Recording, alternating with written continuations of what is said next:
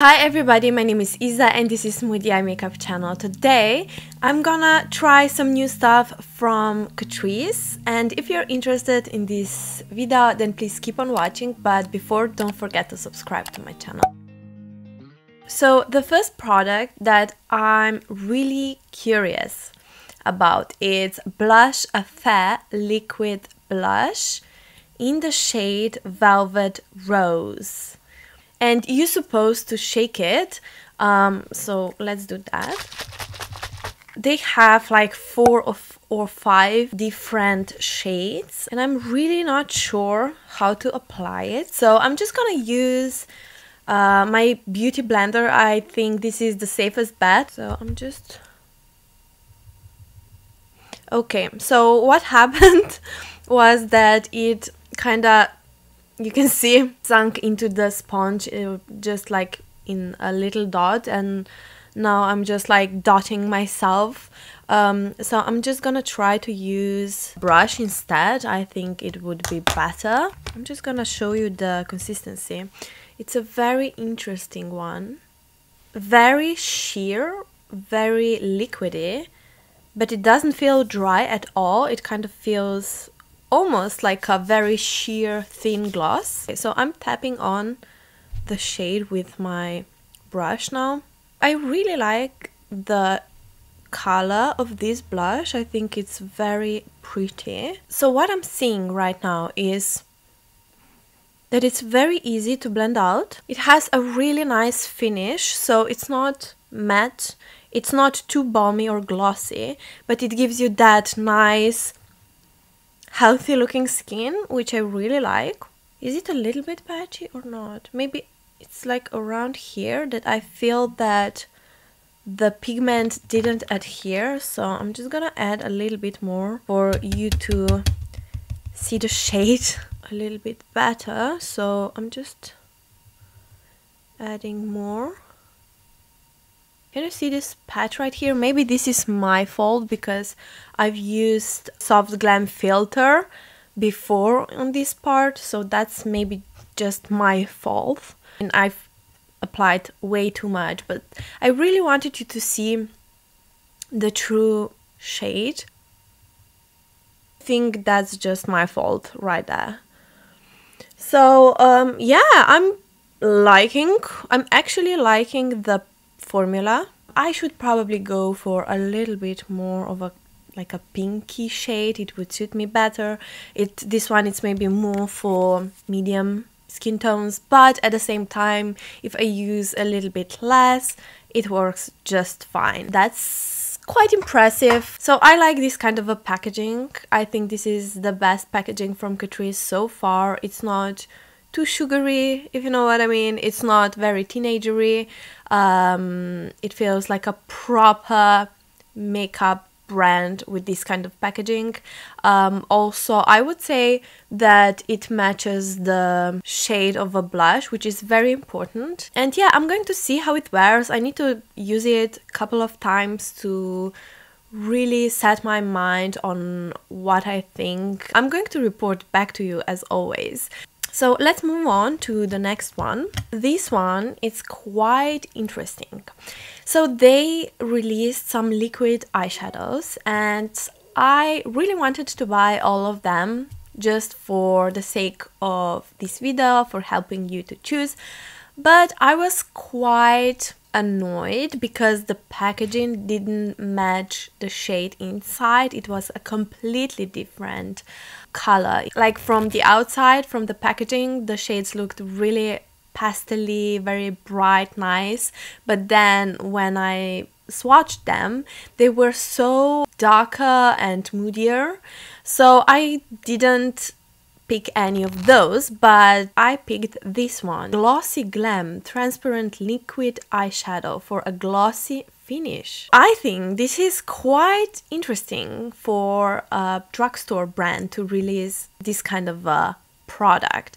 And with glossy, transparent liquid eyeshadows, it's inevitable to crease, to crease like hell. It's just for the effect of, for a photography or a video, short video, but otherwise you cannot wear it throughout the day. But I really want to try it anyway. I think that's a very interesting product that can be fun to use. It's nice to get it for a very affordable price, but of course you can always just add uh, a clear gloss on top of eyeshadow. It has a doe foot applicator, as you can see. So it's like an oil. Uh, it's not as glossy as it's like a lip oil. But before I apply glossy eyeshadow, Catrice released these single eyeshadows that are duochromes, I believe. Uh, so I've picked one because, I mean, I don't need all of them. And also I want to first see if they are any good. So this is a Space Glam Chrome eyeshadow in the shade Moonlight Glow. It's it has like a gold, green, and I would I would even say that I see a hint of blue. It feels really smooth and like really buttery. So I'm just gonna apply it all over my eyelid.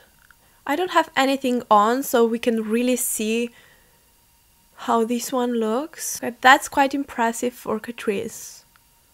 That's really nice. Of course I'm using my fingers, that's the best way to really get the full potential of the eyeshadow. So that's really, really nice. I'm so, so impressed with Catrice right now. This is the best eyeshadow formula from them that I have ever tried because if you're watching my videos then you know that I don't like their eyeshadows for most of the time. I like Catrice for other stuff. Now, for the sake of this video, I'm going to try the glossy eyeshadow. And so I'm not going to ruin my whole tube. I'm just gonna apply it on the back of my hand. And then I'm going to use a brush. And I'm just gonna use it in the center of my